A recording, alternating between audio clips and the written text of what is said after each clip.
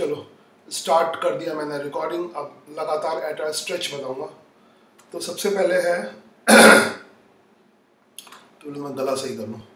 यहाँ पे a particle projected on smooth ground with velocity v naught making an alphabet axis the acceleration of the particle is a naught directed along negative x axis तो बस जी की जगह ए not है, बाकी तो पूरा वैसे ही है। नॉर्मली क्या होता है? जी नीचे की तरफ़ होता है।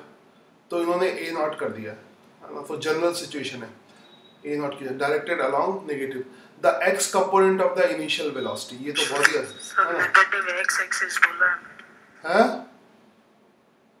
नेगेटिव एक्स एक्सिस बोला है. बस इसीलिए तुम यही सब बता दो क्योंकि हाँ मुझे यही लगा नेगेटिव एक्स एक्सिस के अलावा हाँ तब तक तो पूरी कहानी. With speed v naught making the acceleration हाँ इससे बहुत फ़र्क पड़ेगा। हमारा जो होता है जो सचमुच प्रोजेक्टाइल का होता है, उसमें नेगेटिव वाई एक्सिस में होता है। ठीक है? तो यहाँ पर इस सिचुएशन में नेगेटिव एक्स एक्सिस में।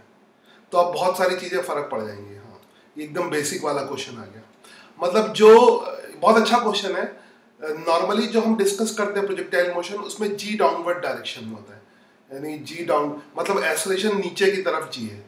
यानी एक्सेलरेशन जो है वो माइनस वाई एक्सिस के अलोंग होता है। तो इसने बस एक्सेलरेशन को माइनस एक्स के अलोंग करके सब कुछ बदल दिया।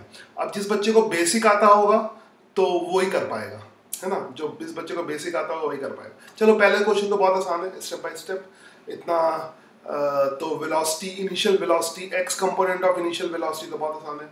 वी नॉट सीधा sine v naught cos alpha होगा sorry v naught cos alpha होगा तो ये तो बहुत ही आसान है। तो ए सही है इसका v naught cos alpha next है नेक्स्ट सर वो साइन वाला था आपने नहीं अल्फ़ा से सात वाला कॉस होता है। सर आपने साइन वाला ऑप्शन टिक किया है। अच्छा अच्छा वेरी गुड कॉस वाला होगा। हाँ ये सब बताते जाओ मेरा उल्टा सीधा वी नॉट कॉस अल्फ़ा होगा वेरी गुड ठीक है? वी नॉट कॉस अल्फ़ा होगा। सही है।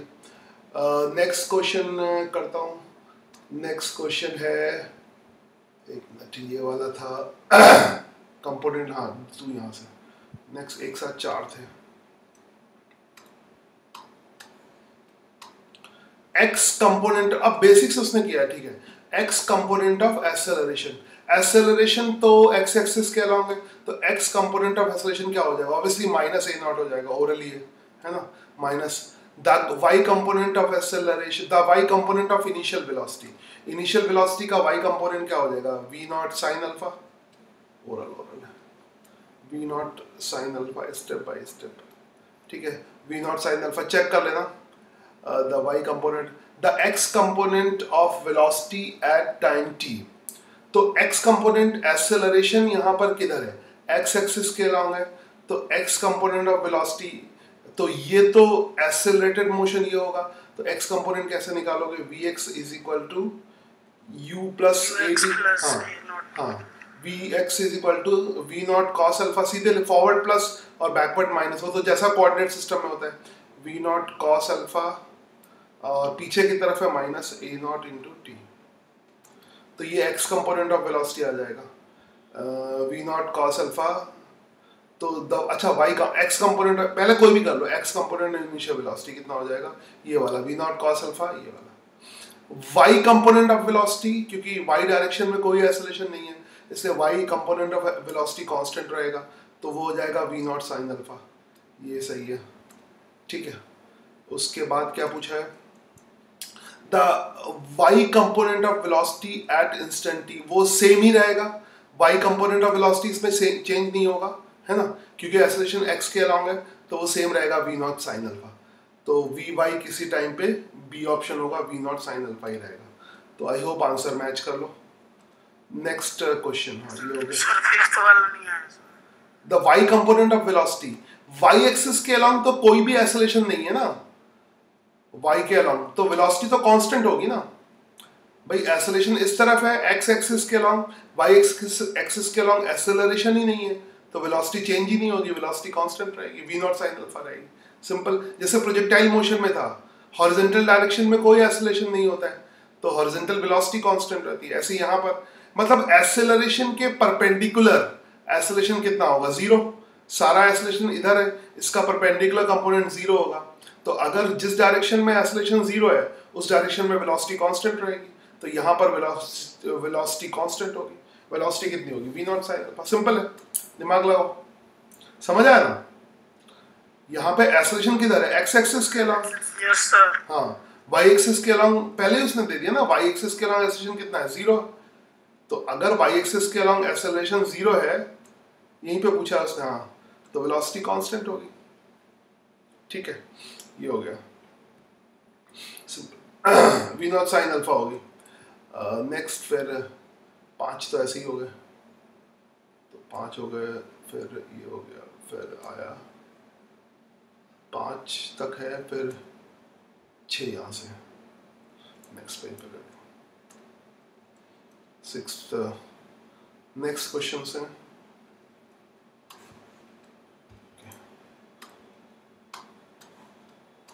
The velocity of particle at instant t velocity of particle तो इसमें क्या होगा इसमें y component of velocity constant होगी। y कंपोनेंट मतलब j के अलाउंग ठीक है? तो j के अलाउंग वाली वेलोसिटी तो कांस्टेंट होगी। और j के अलाउंग वेलोसिटी कितनी है? V naught sine alpha j एक ही से पता? V naught sine alpha j तो इसी में। तो ऑब्वियसली यही ऑप्शन होना चाहिए, नहीं तो नन ऑफ़ दीज होना चाहिए।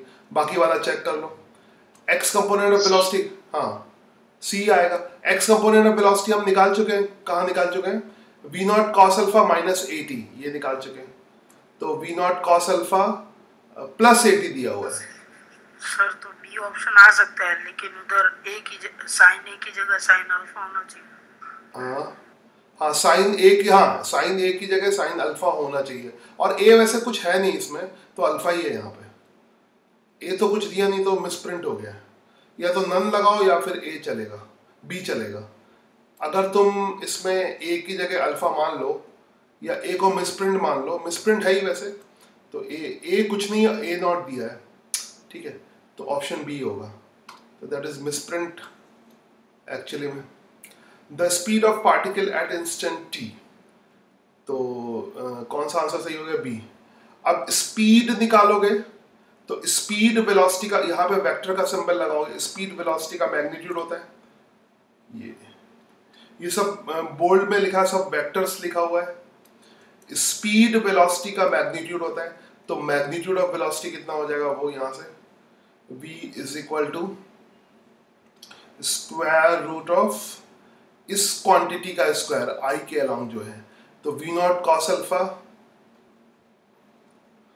cos alpha minus a t v naught cos alpha minus a t का स्क्वायर और जे पार्ट का स्क्वायर प्लस हाँ वी नॉट भी आएगा वी नॉट लिख तो दिया v naught cos alpha minus a t का स्क्वायर हाँ plus v naught sine alpha का square v naught square sine square तो ऑप्शन कौन सा होगा? सी वाला होगा है ना? वी नॉट साइन हाँ v naught square v naught sine alpha का होल स्क्वायर तो ऑप्शन सी वाला हो ठीक है ये सेवन क्वेश्चन हो गए। मतलब इससे पूरा प्रोजेक्टाइल रिवाइज हो गया। एंड uh, फिर नेक्स्ट ये है सेवन हो गए, फिर eight nine ten eight nine ten हाँ एट नाइन टेन ट्रोजेक्ट्री वाला। ट्रोजेक्ट्री शायद रेगुलर क्लास में नहीं पता है, मगर बहुत सिंपल होता है। ट्रिजेक्ट्री दो मिनट में हो जाए। At distant p x y equation of trajectory क्या होती है? वाई और एक्स कोऑर्डिनेट में रिलेशन होता है सिंपल सी बात है। एक लाइन में वाई और एक्स में जो रिलेशन होगा। T uh, instead the particle p x y then p is x and y. तो uh, फिर से बेसिक वाले उस पर आ जाए। या इसको मैं इस सवाल को उस पर ट्रांसफ़र कर लूँ। एक मिनट बगल में इसकी ज़रूरत पड़ेगी ना तो यहाँ पे एक स्लाइड बढ़ा देता हूँ। इस बेसिक वाले में। Insert page blank page after current okay so okay तो आसानी रहेगी। तो अब देखें फिर यहाँ से एक्स एक्स कोऑर्डिनेट कितना होगा? वाई एक्सिस के अलावा तो वेलोसिटी कांस्टेंट है। तो जो वाई एक्सिस के अलॉन्ग डिस्टेंस डिस्प्लेसमेंट है, वो डेल्टा वाई को क्या लिख सकते हो? वाई माइनस ज़ीरो क्योंकि इनिशियल ओरिजिन तो इसका ज़ीरो ज़ीरो है। इसका इनिशियल पोजीशन तो ज़ीरो ज़ीरो है तो डिस्प्लेसमेंट क्या होगा? वाई माइनस ज़ीरो इधर एक्स माइनस ज़ीरो तो we can write y minus zero let me use red pen y minus zero है ना? वाई कोऑर्डिनेट निकाले y minus zero is equal delta y is equal to u y t y के along constant है Y के along constant है तो सीधा लिख दो v naught sine alpha into t तो वाई कोऑर्डिनेट होगा v naught sine alpha into t ये वाई कोऑर्डिनेट हो। जाएगा ठीक है? अब एक्स कोऑर्डिनेट निकालेंगे। एक्स के अलॉन्ग एक्सेलरेटेड मोशन है। तो एक्स कोऑर्डिनेट क्या होगा? X minus zero x minus zero is equal to u t plus half a t square u x कितना है? V naught cos alpha v naught cos alpha v naught cos alpha t है ना? V naught v naught cos minus half a naught t square u t plus half a t square ठीक है? तो ये तो equation अगर देखोगे x coordinate क्या होगा? V naught cos alpha t minus half yes x वाला ये सही है। एक्स कोऑर्डिनेट ये होगा, और वाई कोऑर्डिनेट क्या होगा? V naught sine alpha into T Y coordinate ये होगा। तो एक तरह से आंसर ही दिए हुए तो मैं उसी से क्वेश्चन बनाया थ्योरी से पूरा। अब इसका ट्रिजेक्ट्री क्या होगा? वाई और एक्स में जो रिलेशन है, आराम से गेस कर सकते हो। पाथ क्या होता है? ट्रिजेक्ट्री ट्रिजेक्ट्री की इक्वेशन क्या होती है? थोड़ी भी कोऑर्डिनेट ज्योमेट्री तुमने पढ़ी हो टेंथ क्लास की, इसमें अलग से कुछ भी नहीं है। मतलब अलग से चीज़, ना भी बताओ तभी तुम्हें होना चाहिए। क्योंकि तुम पढ़ी चुके हो कोऑर्डिनेट ज्योमेट्री तो वाई और एक्स में रिलेशन क्या होता है? वो तो ट्रैक को रिप्रेजेंट करता है। ग्राफ को रिप्रेजेंट नहीं करता है ट्रैक को रिप्रेजेंट करता है यहाँ पे। ग्राफ अलग चीज़ है। ग्राफ तो स्टेट लाइन मोशन में होता है नॉर्मली अभी मैं इसका एक ग्राफ भी लूँगा ग्राफ भी बनाते हैं, मगर ये ट्रैक की इक्वेशन है। यहाँ पर वाई और एक्स एक्स एक्स और वाई पोजीशन कोऑर्डिनेट है। ठीक है? ग्राफ में क्या होता है? एक एक्सिस टाइम वाला होता है, एक एक्सिस एक्स वाला होता है। तो किसी भी ग्राफ में खाली एक एक्सिस के अलग वेरिएशन शो कर सकते हैं। दोनों एक साथ शो नहीं कर सकते। ठीक है? तो वाई एक्स में अगर आ गया रिलेशन तो वो पाथ होगा। तो आई होप फिर इसको निकालना बहुत आसान है। इसको एलिमिनेट कर लो यहाँ से। X इज़ इक्वल टू क्या रख लो? T की वैल्यू एलिमिनेट कर दो। तो ये आ गया आ, एक minute v naught cos alpha V naught cos alpha ठीक है। और t की वैल्यू को हम क्या रख देंगे? V naught cos alpha T की value sorry V naught cos alpha है X is equal to V T की वैल्यू को Y upon V naught sine alpha लिख सकते हो। ठीक है? तो टी को गायब करना है यहाँ से एलिमिनेट करना है। तो Y upon V naught sine alpha Y upon V naught sine alpha minus half ठीक है ए नॉट और टी का स्क्वायर टी का स्क्वायर तो ये हो जाएगा वाई स्क्वायर वाई स्क्वायर और V naught square sine square alpha I hope you understand this Y square और साइन तो कौन सा आंसर आएगा इसमें? ऑब्वियसली बी वाला आएगा. है ना?